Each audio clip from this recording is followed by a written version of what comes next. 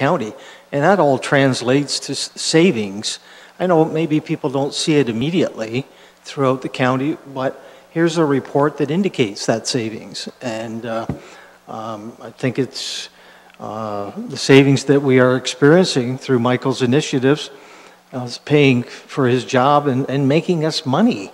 So um, my, I guess, accolades to, to Michael. And uh, I guess um, it was also mentioned that the Delhi Administration Building received uh, an award um, for, I think it's in the information package, but maybe, maybe I could ask Michael to explain that award to us. With How did that happen and what's the significance of that uh, award? Sure, I I will allow that at this time. Uh, Through the chair, uh, thanks for that. Um, Yeah, so the the Delhi Administration Building uh, was recently recognized by uh, NR Canada uh, as uh, one of the first uh, buildings in all of Canada to receive the Energy Star certification. So uh, essentially, the Delhi Administration Building, as an office building, performed better than uh, 93% of the buildings within Canada. I would say that that's a pretty prestigious award, and uh, I- I'm pretty, pretty darn sure that Michael had something to do with that. So um, that was the end of my comments. I don't know if you need a mover on this, but if you I do, do need a mover and a seconder. I would move it. Counselor Black moves this. Counselor Brunton seconds it. Okay. It's uh, the staff report, PW 1826, the Corporation Norfolk County Annual Energy Report 2018, be received as information. Those in favor? Those opposed, that's carried. Thank you. The, the one question I had, perhaps it's, this is for Ms. Robinson, the fact that we contract out some work, more work than we used to, does that save us in energy costs, say for vehicles and that type of thing? Is that shown in this formula? Um, Through the chairman to council, uh, we contract out uh, certain work, but that doesn't affect the, the current uses that we had. We, um, The county has been growing over a considerable number of years, so there's actually more work. So in fact, we are actually reducing our footprint considerably and not, and that's uh, an additional work that's being taken on. But we're, I don't know if I actually answered that question very well. Um, we are in fact doing that. These are, it's all included in our calculations um, with respect to that to ensure that we are reducing our footprint. Okay, thank you. Okay, we'll move on to the next report. It's on page 17. It's the 2017 investment results. We did have a question uh, raised by a counselor on that, and I'm going to, uh, is- is- over here, Kathy, are you going to give this one? Thanks. Thank you, Mr. Chair. Um, This report uh, before council tonight is also an annual report uh, regarding the 2017 investment results as required under the Municipal Act and the Ontario Regulation governing investments. Uh, If you look on page 17, the table um, that's presented is a snapshot at the end of December 31st, 2017. You'll notice that it's a li- um, higher than the previous years. As a result of that, that was, um, we had some demand on our reserve funds at the time for capital projects, and and during sev- 2017, we issued a debenture amount of 19, just close to 19.1 million dollars. So that's why there's a little higher balance. And again, this is a snapshot at the end of December 31st. Um, Staff do um, um, review and monitor cash balances on a daily basis. We do have some staff al- allocated to investments um, regarding our daily cash balances. Um, We're looking at allocating more time, hopefully, in the future for um, staff to take the time um, to do this. There are other changes that we're looking at also in the pre- presentation of the report for next year. I know Mr. Johnson would like to um, see some changes. The report is based on how we did it in the past um, and how the previous treasurer at the time um, presented the information. But I know next year, um, I'm working with James to change and provide more detailed information. And I believe also he'll be looking at presenting both the legacy fund and the investments, um, the daily investment um, results at the same time for next year. Uh, Overall, from last year, um, we did do, uh, our performance had increased. Um, Again, basically because we had um, a higher cash balance and the interest rates were slightly um, higher. And just getting back to the table, I just wanted to explain, you have the high balance also, but that's at the end of December. In January and February, we ge- generally have a lot of pressures because we haven't had a tax um, installment date since Octo- the end of October of 17. So you'll normally see in January and um, February and March, those balances of investments actually went down quite a bit, and we've just had an- another installment, so we've reinvested um, monies of- during this week for that. So it goes up and down on a daily basis. Brunton? Did we cut you off, Kath? Oh, I'm sorry. Um, Yeah, I- I just, when I read this, and I just kind of baffled me in a way because, and Kathy, if I may through you, Mr. Chairman, am I reading this right, that we made $426,000 roughly on 18 million? The money market fund, is that right? Through the chair to council, that's correct. And yet, on our legacy fund of roughly 70 million, we made $275,000. That's hard to, to swallow.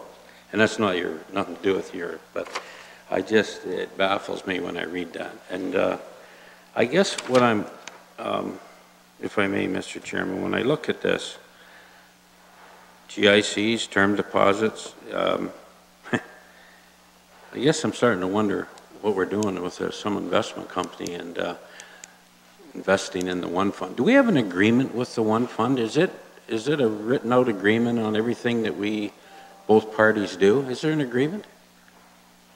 Uh, Through the chair, I believe there is, especially with the legacy fund and the, and the one fund. Um, And I do not believe we have any um, short-term investments at this time with the one fund.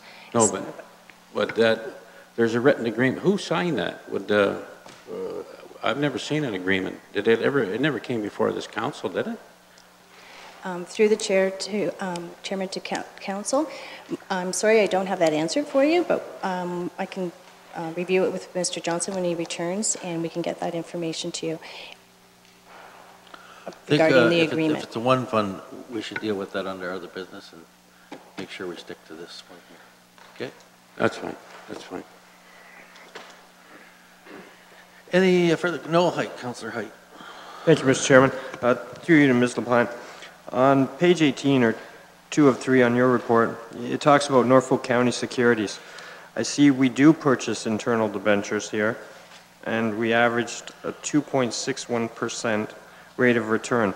It it appears that you're using money from reserve funds to hold these debentures, and then the interest goes back into the reserve funds? Is that how that works? Through the chair um, to council, that's correct. The maturity also is 2021 for these. Uh, There was, would have been a bylaw passed by council on, regarding the interest rate and the terms. And so we pay the interest, it's just to another fund, basically, or into another savings account, is that not correct? That's correct. And what's the limit that we can handle there? Just whatever's cash is in our reserve accounts? That's correct. Hmm. That's correct. Oh, it is, so, uh, like, do you have any um, other ones that you're looking to do in 2018?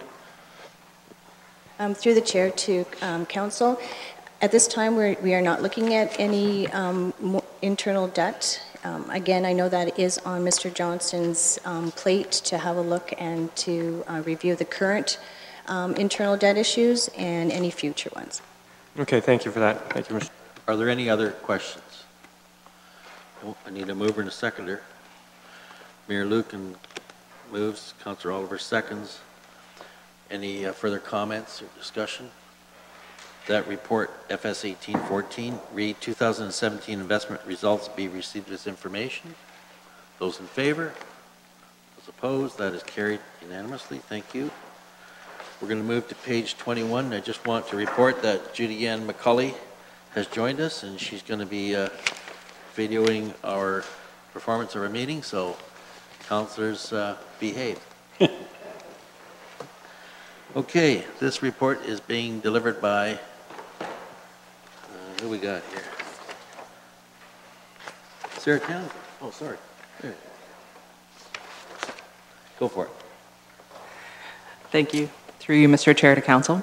I'm here tonight to present um, a report on the conversion of emergency vehicles. So there's two things that are going to come up in this report I just wanted to explain a little further. Conversion versus certification. Um, all our vehicles used to come through the ministry before it was downloaded, clearly. Um, when that downloaded happened in 2001, Roland Emergency Vehicles was the only vendor that was providing both inspection, conversion, and certification of emergency vehicles. So this is taking a normal pickup truck and making it a response vehicle, or a van chassis and adding a box on the back and making it an ambulance. It includes, um, the conversion itself includes things like electrical systems for the lighting, sirens, things like that, upgraded mechanical systems, oxygen delivery systems, suction units, um, venting and air movement systems, and basically overall loading on the vehicle, um, pull testing, rollover testing, MBC testing, everything like that. So that's all in within the conversion. The certification of the vehicle then includes things like um, applicable statutes in the Canadian Electrical Code, the Canadian Standards Association Group, uh, the Ministry of Transport annual inspection, and then everything that they do clearly has to go through the Ministry of Health and Long-Term Care to be compliant with the Ambulance Act and our provincial equipment standards. With all of that being said, over the last um, few years, we have continued our relationship with the Rolands. We've found, found them consistently a high quality work. They provide a great turnaround on the um, work that we are providing, and the warranty is above standard of everything that we've seen. Um, there are two other companies in Ontario that are currently have recently joined the market. The feedback that we have been given from our colleagues across the province is that there has been significant delays in receiving their vehicles, and in addition, anywhere from 10 to 30 percent of the vehicles that have been delivered um, from these conversion companies have failed certification on a ministry level. In order to continue the service that we provide and ensure that we are maintaining all our certifications and regulations with the Ministry of Health, thus our service provider um, certification as well, we're requesting a three-year term to just do the conversion of these vehicles at Roland's. So we would still be tendering um, at least quotes, but most likely tendering given the pricing for the actual vehicle chassis itself. This is just where we would send it to then be converted to an emergency vehicle. With that, I'd, I'm available for any questions. Questions of Ms. Towns? Doug? Thank you, Mr. Chairman. Just through you to Sarah. Sarah, what, can you tell me how much you've spent with this company in the last, uh, or since, uh, I think I had the date written down here, 2003 Three. or 6, is it? I'm sorry, I lost it here. Since we've been with them anyways, how much, can you give me an idea what, what it's cost, Norfolk County? Through you, Mr. Chair, it is a difficult question because the vehicle conversion they do is only a part of what we get from Rollins, if that makes sense. So they're also our Stryker provider and they provide a great number of other equipment pieces and things like that. Conversion itself on the vehicle, depending on the chassis that you're chosen, so it's obviously different for the things like the minivan we have ordered in the past or the administration car versus doing a full emergency support unit or emergency response vehicle. They run anywhere from 11,000 to 24,000, depending on the chassis itself. Um, the conversion of the ambulances is actually contracted through our ambulance provider. So we aren't subcontracting them. That is all one kind of pocket deal that our provider is dealing with Roland's. But all of our emergency response vehicles, so the ones the supervisors are driving to do first response, things like that. So the, um, right now we have two expeditions and a suburban that are, and a minivan for the community paramedic, things like that. So those vehicles is what we're speaking to. And so over the past, I would say five, six years when we just replaced all of those vehicles, they're running in between 11,000 and 16,000. So when you buy, uh, when we, Uh, in the budget, we have a new ambulance, you're saying you buy that complete from a supplier, and that's already been converted, correct? Correct? Through you, Mr. Chair, that's correct. So they're, the two main ambulance companies are coming from Saskatchewan and Quebec City. So that is why they actually have to go through an Ontario certification process when they come to this province. So they have already contracted Rollins through that process, but that is a one-shot deal for us. We order them directly from the provider, and they do the certification at Rollins before we get them. So when we buy a new ambulance, I'm going to get this clear in my own mind, we get competitive bids at the, on the initial purchase. It's when you send it back for repairs or something, you want to use Rollins? Is that correct? Through you, Mr. Chair, yes and no. The ambulances themselves, Yeah. um, we will be going to RFP because that has never been done in the past. So we will have a provider. The conversion, everything is included in that. Correct. What we're saying right now is, so for example, this year, we're replacing the emergency support unit, which is a Suburban right now. So what we will do is tender out the actual vehicle, and then we're asking for permission to send it to Rollins to convert it into an emergency response vehicle. And you're, and you're saying there are two other suppliers to, that would do that work, but they, I guess the workmanship or you're, you're not in favor of, uh, based on the comments you made, of using those other two companies, correct? Through you, Mr. Chair, that is correct, and that is why we have actually recommended just a three-year term. We'd like to see after that three-year term in 2020 if we will, can find other providers that will provide the level of service that we've come to expect. Would these other companies uh, be scrutinized, like if they haven't met the standards, uh, would they be uh, like scrutinized or penalized by the province in some way? So they, they do get on board to supply these vehicles in a proper manner? Through you, Mr. Chair, that is correct. So we are um, required to submit to Ministry of Health inspections at any given point, but every three years, and ours is next year, um, we go through a certification process in order to maintain our ambulance certificate to provide an ambulance service. So when those inspectors come in, any vehicle that fails certification has to go back. And so it's been more of a count of when they found these vehicles that haven't met certain aspects of certification, they have to send them back, and that's causing further delays. But when the inspectors find that on your service review, that is marks they take off your final service review process that you have to enact before they'll give you your certificate to provide ambulance service. Thank you. Okay. Further questions? Mayor Luke? Well, the recommendation's there on page 21. I'd like to move it and get it on the floor, please. Okay. Seconder? Counselor Oliver, that. Okay, I will read it, the recommendation that staff report CS 1815, conversion of emergency vehicles be received as information, and that council permits a single source standardization as outlined in Norfolk County Purchasing Policy E ECS-02, Section 4.8.4, for the mandatory certified emergency conversion of all paramedic services vehicles. And further, that council approves Roland Emergency and Specialty Vehicles Incorporated as the single source supplier of the mandatory certified emergency conversion of all paramedic service vehicles.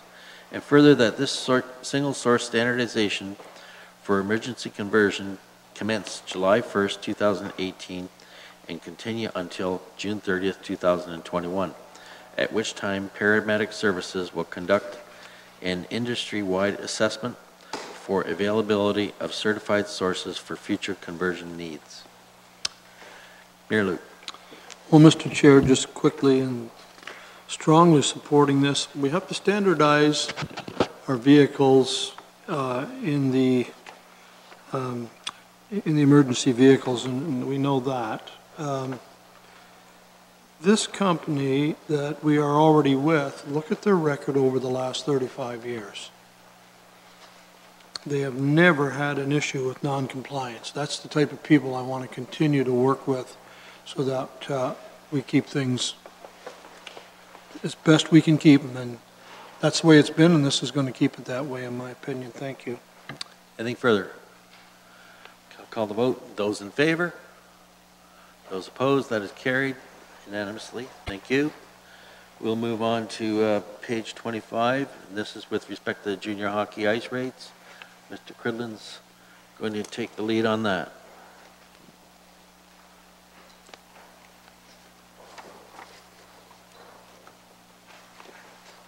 Thank you, Mr. Chair.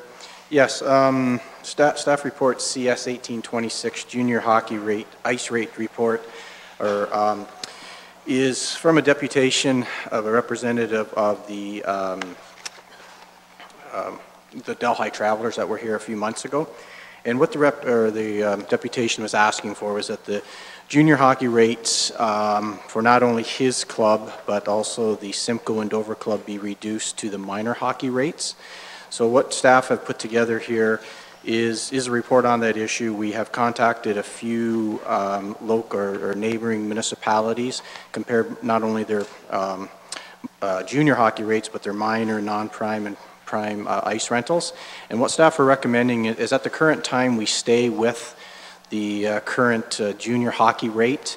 Um, We're working with finance staff. As council will know, last year, we worked on the marinas um, user fees, and we were quite successful in bringing them up, leveling them out where they needed, lowering in other places to, to be more competitive with the private markets.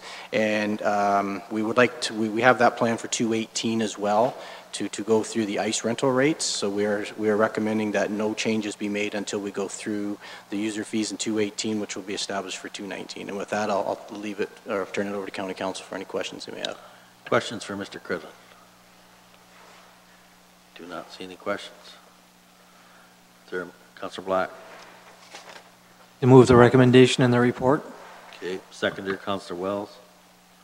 And I'll read the recommendation that report CS 1826 junior hockey ice rates be received, and that council approves to maintain the current rates for the junior hockey ice rental fee outlined in the 2018 user fee bylaw 2017-127 with no changes at this time. Anything further? Those in favor? That's carried. Thank you. And now, page 29, the multi-use recreational facilities 2018 funding. And this is going to be delivered by... Okay, Mr. Cripps.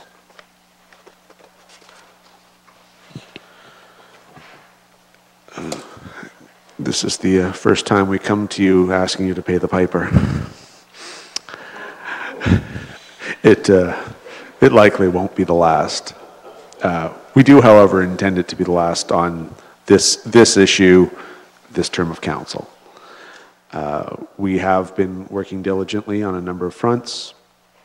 Um, Obviously, the key meeting, uh, at least from my perspective, being the, uh, what we anticipate being more or less a full day of closed session around uh, potential locations.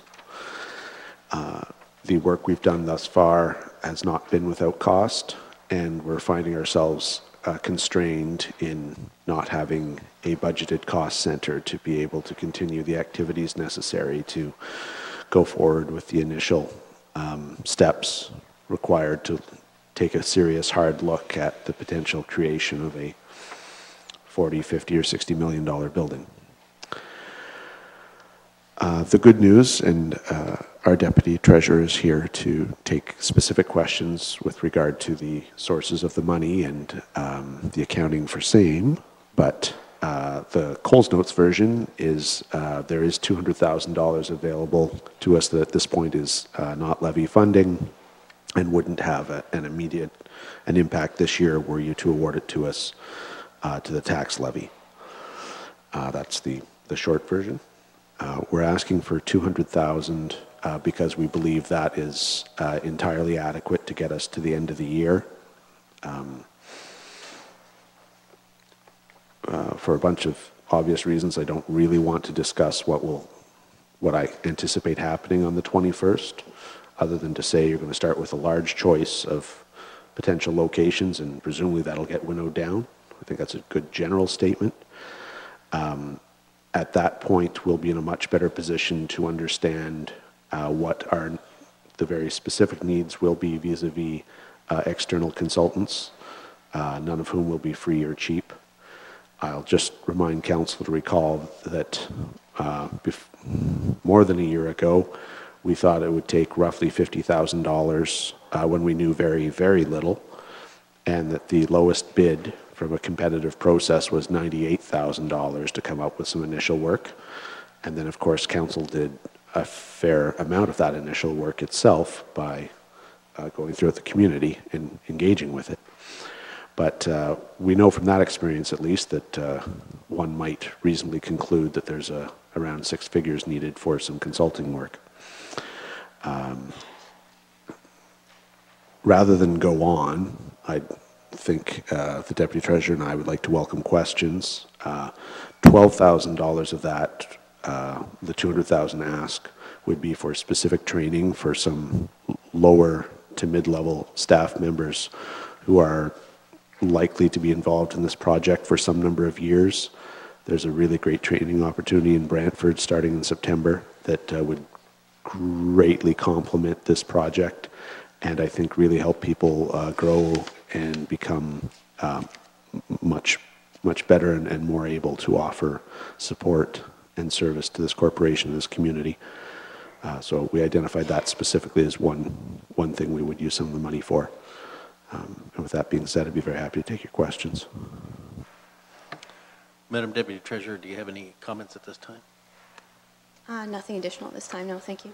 Okay, we'll go to the floor. Mayor Luke? Uh, Thank you, Mr. Chair, through you to Mr. Cribbs. Um, I want to just be clear on the funding for this, and uh, I- I've had uh, feedback, as I'm sure many of you have, on people supporting, and I actually have had uh, an inquiry today concerned about this 200,000 and not realizing where the source of funding is coming from. Certainly, I think everybody around this table is well aware where the $50,000 is uh, income or interest money previously from the good days of legacy investing in 2016. Um, The other 150, and I assume that the um, Evergreen Hill Road project that was deferred is the sidewalk road reconstruction. But where specifically did we get uh, this Invest in Ontario uh, reserve fund? Is it cash that's sitting there now? Is it part of a, is that the total amount in that reserve? Is it part of a larger amount? I'm just not, it's not ringing a bell where we got that dough from and when. Uh, Through the chair to Mayor Luke, that 150,000 is all that's remaining of those funds. And it was uh, granted to the county some time ago to be used for infrastructure funding. Okay, thank you. So it's funding from the province some time ago for uh, infrastructure funding, and certainly when I mentioned to the inquiry I had today, and it was an excellent phone call from a, from a resident here in Ward 5, uh, he was somewhat satisfied that this was not money that would be taken out of the 2018 tax levy. Is that correct? Through the chair. I mean, obviously it is, but I just, I think the public likes to know some information on where we're going here, or if we're going where it's, uh, where the money's coming from. Through the chair to Mayor Luke, that's correct. Those funds have not been levied from the taxpayers of Norfolk County. And my last question to our uh, county CAO is, this is perhaps, we could refer to this as seed startup money that would be available.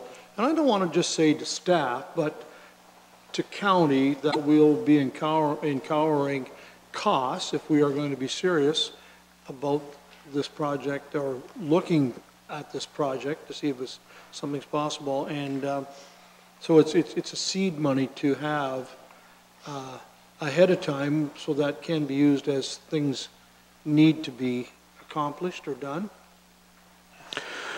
Absolutely. Uh, To be abundantly clear, uh, obviously, at the end of the day, if some sort of significant facility is going to be built, it requires funding from the other two orders of government. But the initial costs uh, self-evidently need to be borne by the municipality. Um, This money, we will account for it, obviously, uh, but uh, beyond that, this would, this will constitute part of the county's contribution towards the ultimate cost, assuming a decision in the affirmative is ultimately made. Um, So we have to start, we have to put some of our money where our mouth is and show the province, we will show that we've spent money on analysis of sites, on engineering, on architecture, on drawings, on site analysis, on zoning amendments, on, uh, I mean, I go- I keep going, but you get the idea. And the initial ball to get this rolling, the seed money if you prefer, uh, this is that, that pot. Uh, Right now, we, we simply don't have one. And, you know, for minor projects, when we get together around the senior leadership table, if we need $500 for something, we can sort of figure out, well, typically we start looking at public works. Um, But, you know, you can find those, sort of- you can't find $200,000 uh, under the mattress or in the cushions of the couch. Uh, And so we need to come to you here for this uh, at this time. Thank you. Counselor Haydt?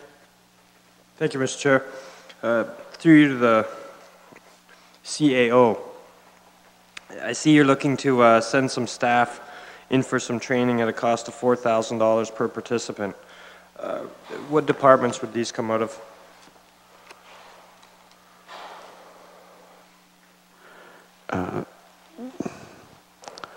Assuming we get the funding, they will be from three different divisions. Um, We, we, we didn't specify because, of course, it, it's an ask at this point in time. We have more than three people identified, and uh, we have a number of uh, excellent potential candidates. Uh, That being said, I, for a number of reasons, I can't exactly specifically identify them to you at, at this point in time. Th- This project is involving staff from every division in this corporation. Uh, I I can tell you that. Everyone's been obligated to put staff forward, and uh, there's no one that's not represented at that table. Yeah, thank you for that. Like, I guess my concern is that they have day-to-day jobs, and they're probably very busy with them. So this takes them out from doing their real jobs, and I assume that at some point we're going to bring in consultants that have project management specializations already, and they've built buildings. So just working with them would give them the experience. And for twelve thousand dollars, plus that doesn't include downtime while they're out of the office for days at a time for this course, and I'd be concerned with that. It's our belief that this program offers spectacularly good value. It's eight days, one day a month, starting in September. Uh, So one day a month absence from work, although we'd notice, is not undue. It's spread out. Uh, It's taught by particularly knowledgeable faculty, ultimately out of uh, uh, Mohawk College. Uh, It's a number of municipalities getting together for this program, so it's, uh, it would be ourselves, City of Brantford, um, I believe Oxford County, most of our sort of, if you're in reasonable driving distance of Brantford. Um, This is really considered a, a- like a top-notch program. The, if you step back and we stop talking about a rec facility and just say building something worth 40, 50, or 60 million dollars, there is a lot of learning to be had.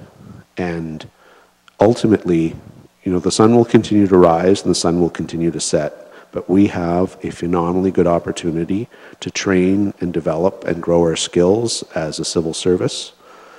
Uh, Norfolk County's never built anything of this magnitude before, and we want to maximize our opportunity to grow our skills and knowledge. We have a number of uh, junior to mid-level uh, staff who we think would be excellent participants in this and could really uh, be with the, uh, the corporation for a long time and really get a lot out of this. So to have the academic uh, and the theoretical simultaneous to actually the doing, I think would be a tremendously strong, uh, like a uniquely strong opportunity for professional growth. Okay, thank you for that, but like, we have training conferences, seminar budget that's somewhere around half a million per year. And this is on top of that. I, I feel we spend quite a bit already on training. You couldn't find efficiencies or enough money in that budget to cover this? It all gets billed specifically for this one item, yet it's used across the corporation. These skills will be when they're done. Um, I don't want to disagree with council, but I will point out to this council that two years ago, it cut $100,000 from the training budget, and last year, all it did was restore 1.7%, i.e. inflation. So I would not describe our training budgets as generous. I would just categorically disagree with that. But moving past that statement, what training dollars we do have are designed for the daily jobs that the staff of the Corporation in Norfolk County provide. And most of those training dollars are for, I mean, I, I look at my own. I attend things offered by the Law Society of Upper Canada, of Ontario now, uh, so that I can maintain my license. That's true of our nurses, that's true of our engineers, that's true, and so it goes. Uh, this is a unique project that doesn't fit in the daily um, job description of anyone, really. Uh, we're all sort of um, operating somewhat, somewhat outside our normal parameters on this one.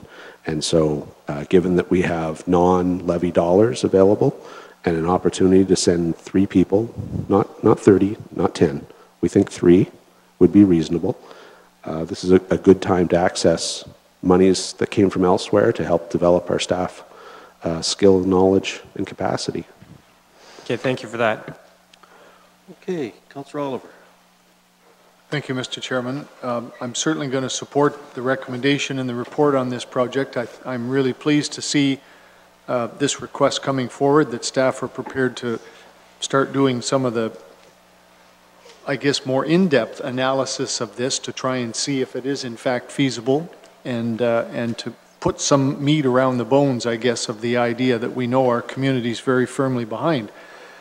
Um, Mr. Cribbs, in one of his comments, touched on where I was going to go with my question, Mr. Chair, and that is accounting for the money. It, it would be my request or suggestion uh, through council to staff that we make a special, uh, not effort, because I know staff will do it, but that we set in place whatever uh, mechanisms are required in order to be able to account in detail for this funding and how it's spent over the next uh, perhaps eight to 12 months. I think that would be part of the accountability that the public will want, and I think we will be able to show, uh, provided there is tracking of the expenditure of these dollars. So I'm not suggesting it needs to be part of the motion, Mr. Chair, but if somehow Mr. Cribbs can note and the, and the minutes can reflect that uh, if that's what council feels, if council agrees with my suggestion, that we uh, ensure that there's accurate tracking and periodic reporting to council on the expenditure of these funds. Comment from staff. Um, through the chair to Councillor Oliver, we will be setting up a separate cost center for this, and all the costs as well as the funding will be tracked separately so that we can have those details available. Okay, Councillor Black. I'd like to move the recommendation in the report, if there's a second to speak to it. Okay, I thought someone already had moved it, didn't, no, okay. So you're moving it, seconder? Councillor Oliver seconds that motion, okay? Go ahead, Okay, Councillor Black. Mr. Mr. Chairman, thank you very much, and uh, um, I think we, we all knew that this was coming. You can't move forward with a project like this without any, any funding that's going towards it. And I, th- I thank staff for being innovative and coming up with uh, a way to provide these funds without costing the taxpayers any money. We have uh, 150,000 provincial dollars that was was not uh, spent and allocated to this, and the the $50,000 was already um, allocated by this council uh, from interest that we made in the legacy fund. Um, so from that perspective, uh, that's um, a, a, good way to start as far as I'm concerned. Um, the hiring of individuals and having an expertise, and I, I buy everything that uh, uh, our CAO said. It makes sense to me that people need to be educated. It's something that we've never, we haven't done a project this large before, and I think it's, it's smart to be able to be on top of it in terms of uh, being educated uh, in, in terms of the things that we, we don't deal with on a day-to-day basis. And um, I would have only assumed that the um, that staff would have set up a, a, totally different and separate cost center to uh, allocate the the revenue and expenses for for this, and they've they said they will, and uh, I'm sure that will lead to um, uh, very visible accountability in in terms of uh, where the money's coming from and where it's going to. So. Um, And just to also mention that uh, I'm sure all of us have received emails from people again showing support for moving forward with this. And it is, I guess you could say, our second step.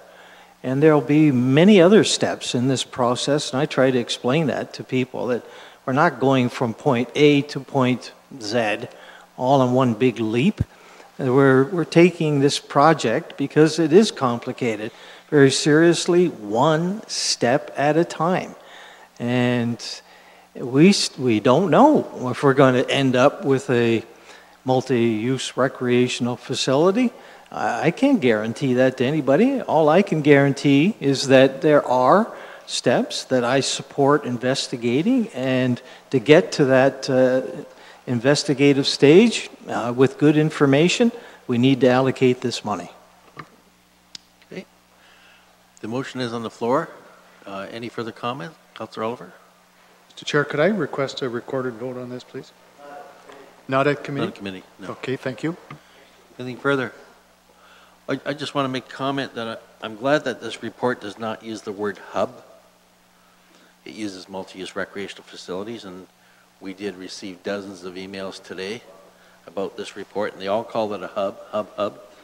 And you know, the hub of a wheel gets all the grease, and outside there, anybody outside that perhaps would feel like a fifth wheel. So I'm, I'm, I'm glad to see that the, the word hub is not used. Okay, I'm going to call the, uh, the, yes, Councilor Black. If it makes you feel any better, I agree with you. And I, you- I didn't make any reference to the word hub when, when I was speaking. I said multi-use recreational facility. I guess you could call it a MRF. Um, I don't know if that's any better than a hub, but it does make more sense to me to make reference to uh, multi-use recreational facility, and I use that term with everybody I speak to. Good. Okay, call the vote. Those in favor? Those opposed? One opposed. That's carried. Thank you. The, uh, the food is here. We have uh, over an hour left before we go to our presentation by uh, our uh, Inspector of uh, OPP, Norfolk OPP. Do you want to keep going, or did you want to stop at this time? We can get a couple more reports in, perhaps? Do you want to go to a couple more reports? Okay, we'll, we'll do that. We'll go to report number, uh, the greenhouse gas emissions and climate change planning, and this is staff report PW 1836 on page 51. This year's, uh, Mr. Simone?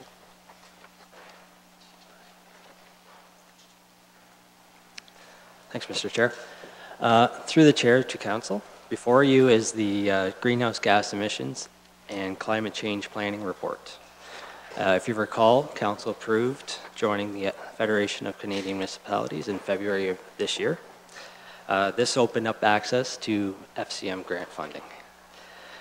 The FCM has recently announced gra- staff grant, staff grants for greenhouse gas emissions and climate adaptation plans. Staff have identified three options for proceeding with the staff grant as outlined in the report. Staff recommend proceeding with option two outlined in the report. In this option, an application would be made to FCM for um, an existing FTE staff resource to oversee the plan development and implementation. The money received from the grant would then be used to hire a consultant for their expertise in the plan creation. By having a plan, it opens up oppor- grant opportunities for the county. The FCM Grant Green Municipal Fund, along with the Ontario Municipal Greenhouse Gas Emissions Fund, Challenge Fund. And with that, I'll answer any questions of council. Questions to Mr. Simons? Don't see him. Counselor Wells? If I understand this correctly, the uh, cost to the county would be $7,000? Is that correct? Through the chair to Councillor Wells, that is correct. The net cost would be $7,000 um, for the plan creation, uh, which could be further offset by 15,000 if we were successful in our Ontario Municipal uh, Greenhouse Gas Challenge Fund application. So potentially a net savings of $8,000. Councillor Oliver. Thank you, Mr. Chairman. I'm certainly going to support this recommendation, but I, I did send a couple of questions to staff asking clarification. I think I CC'd it to members of council. Michael, I'm just a little bit unclear, I guess, still. In the recommendation, it refers to um, greenhouse gas emission climate change adaptation plan, sort of an either or, and yet obviously I think it would be our hope and intent that we would perhaps do both, and I would like to suggest, given what we have in our energy conservation and demand management plan already, the emphasis needs to be on climate change adaptation. So are you fairly confident that that we will have flexibility, assuming we get funding and we, we put in our application, et cetera, et cetera, that we will have flexibility to put, should council choose and staff choose, put more emphasis on the climate change adaptation aspect of this initiative, which I would suggest there is a huge need for uh, in the future. And, and this county would be well served, I think, if we undertook such a thing. That's my question, though. Will we, will we be obligated, if you like, to spend half of our time and half of our resources on uh, carbon reductions versus climate change adaptation, or will it be somewhat flexible? Uh, th through the chair, um, we certainly are, our our intent is to do both, uh, as you alluded to.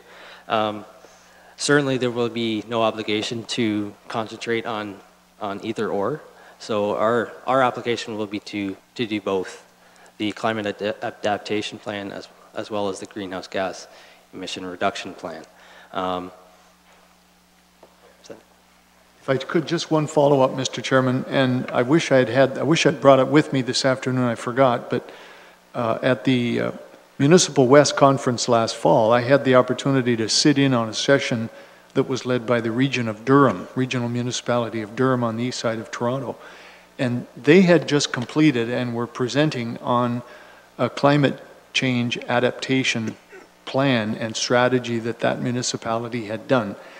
And uh, I was really, really impressed by it in terms of the initiatives. I think Mayor Luke has seen the report, and I know Ms. Robinson and I think Michael has seen the report. And I, assuming this resolution passes today, I will make a point next week of bringing that in, and I would encourage all of council, we can take turns just passing it around to get a sense of what kind of things are, are looked at and should be proactively planned for in terms of municipal adaptation to climate change, which is inevitably happening, of course. So I, I really think this is a good initiative, and uh, I'm certainly going to support it. Okay. Next, any further questions? Councilor Black? It's ready to move the motion. Okay, Councilor Black moves the motion. Seconder? Mayor Luke? I saw a hand up, Councilor Haydt. Uh, I have some questions, Mr. Chair. what the difference between option two and option three? So option two, we hire a consultant. Option three is we let our, our staff work away at this for two years. And I see the consultant costs $85,000. But I don't see a cost on option three, other than it says that some capital projects could be delayed while this report is being done. So could someone clarify a bit the differences between those two? Uh, through uh, the chair, through uh, to Councillor Haydt. Um, so option two is using an existing um, staff resource on a 0.5 FTE basis, approximately, um, for the duration of the project uh, with the hiring of a consultant. Option three is uh, dedicating that FTE full-time to the development of the project. Uh, in terms of, of cost, there would, there would still, we would require some consulting costs, um, more for um, data from third parties. So there, there are some consultant costs that would be required for option three as well. Through the chairman to council, um, although perhaps we didn't articulate it as clearly as, as we could have, um, if our existing staff member who is fully engaged is now being 100% dedicated to this project for a year or two, we're unable to have the ability to undertake those duties that that staff person would normally have undertaken. In this particular group, um, the excellent energy report that we just saw earlier this evening, that's something that that staff member is currently working on. Those types of things would be, we would have to either have somebody else do that by going out, and you'd see us here in the future saying, we now need a, a consultant to come in to basically backfill our, our staff member's full-time position in order to do that. Um, this particular position is also filled doing things like um, our roofing contracts and all that sort of stuff without having that staff member available to do that and being effectively seconded to this project, we're going to be coming back to council as we come across things that can't be delayed. It's not possible at this point to quantify that, um, which is why staff have recommended option two because it's a really good hybrid. It allows us um, to work our capital plan for 2019 and 2020 recognizing that we're going to have a, um, somewhat of a limited resource, but we still have the funding that we're hopeful that we're going to get in order to um, allow the other projects to move forward. So two sort of a hybrid that works the best case scenario. It allows the important projects in our capital budget to continue to go forward, as well as allow us to apply for funding and move forward with this initiative as well. Okay, thank you for that. Now, just to be clear, option two is still going to take the two years? Through the chairperson to council, yes. Okay, thank you very much. Okay, Councilor Black. Speaking in favor of uh, my motion, I I know that there's uh, some people, some individuals south of the border that have their heads buried in the sand, deny that climate change, or climate is not being affected by people, but I don't feel that way. I think it's uh, the the responsible thing for government to uh, recognize that people do have an effect on our climate and that we need to accommodate that. And this is what we're doing. We're, we're going to, uh, it's a challenge. Uh, we know that the climate does aff- affect, or people do affect the climate, and we need to plan for that. So I think it's the environmentally responsible thing for all governments to be involved in. Anything further? Questions or comments? I do have a mover. Councilor Black moves. Mayor Luke seconds. That is following recommendation that PW 1836, greenhouse gas emissions and climate change planning, be received as information, and that council approve option two as recommended by staff to apply for the climate change staff grant through the Federation of Canadian Municipalities to hire a consultant. And further, that if the climate change staff grant is successful, that the approved 2018 levy-supported operating budget be amended for the creation of a greenhouse gas emissions climate adaptation plan with funding to be provided from the climate change staff grant and the levy. And further, that staff be directed to apply for funding through the Ontario Municipal Greenhouse Gas Challenge Fund for the building insulation envelope upgrades. And further, that if the Ontario Municipal Greenhouse Gas Challenge Fund application is successful, the approved 2018 levy-supported operating budget be amended to reduce the general building re- reserve contribution by $15,000 and include funding of $15,000. Nothing further? Those in favor of the recommendation? That is carried unanimously. Thank you. And now we'll move on to page 55. This is with respect to the uh, Financial Services Department. And uh, I guess that's yours, Sue. Thank you, Mr. Chairman. Um, This report and the next one both deal with tax policy. They're both reports that council sees on an annual basis. Uh, So I won't bore you, and I'll try to keep a, uh, a brief summary of this report.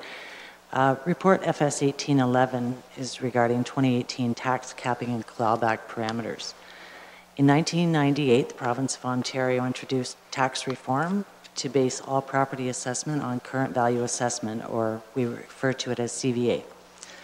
To fully implement CVA in the commercial, industrial, and multi-residential tax classes all at once would have created significant tax shifts.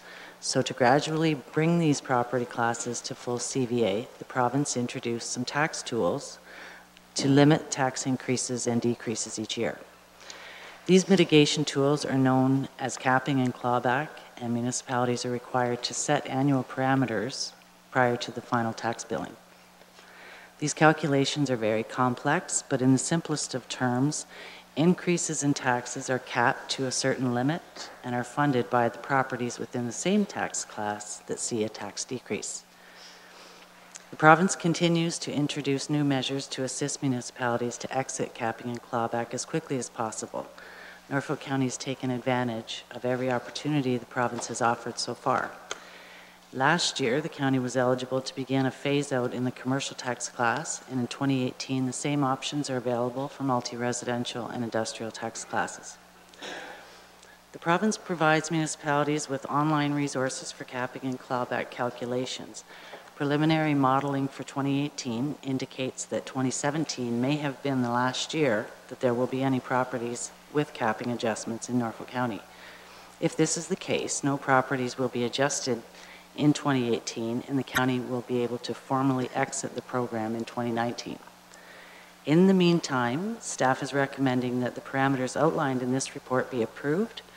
A bylaw containing the parameters will be presented to council next week for approval. If there are any questions, I'd be happy to answer them. Questions? Councillor Black? Well, I know everybody's looking for fairness in terms of taxation, and it's a difficult thing to get.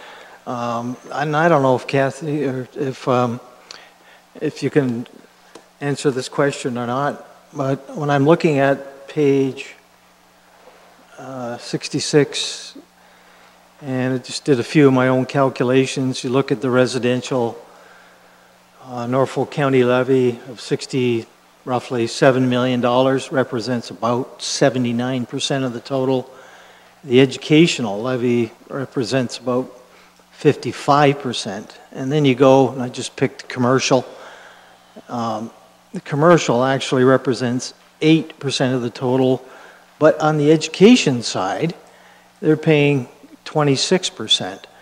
Like, the, the commercial part, and I know the provincial government back in the Harris days ti- tried to move the commercial rates with this range of fairness. Point of order, Mr. Chair. Wrong report. Final tax rates. We're talking about, uh, Final t- tax rates? That's what I'm talking about. well, we're on page 55, Councillor Black. Oh, okay. Gee whiz. Okay, Wonder, God, I got a long ways along there without being caught. you're a little bit early, okay. Okay, I'm sorry about that. Is there any other uh, question? Coun- Mayor Luke? Sorry. Okay. I just wanted to show you I'm not perfect, that's all. Back to page 55. Well, actually, we might as well finish up Counselor Black's report. No, we're get it going the way to and page get back to- 55.